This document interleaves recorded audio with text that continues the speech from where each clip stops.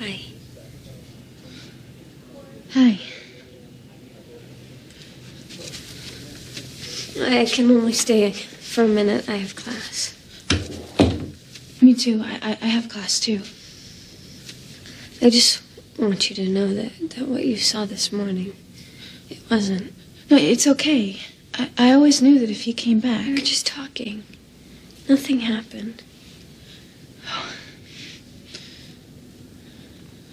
Really?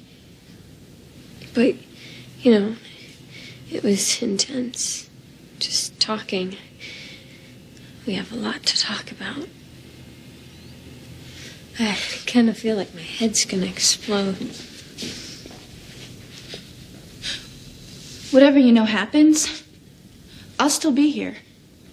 I'll still be your friend. Of course, we'll be friends. And that's not even a question.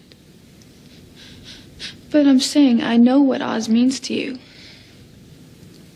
How can you? And I'm not even sure. I mean, I know what he meant to me. But he left and everything changed. I changed and then we. What?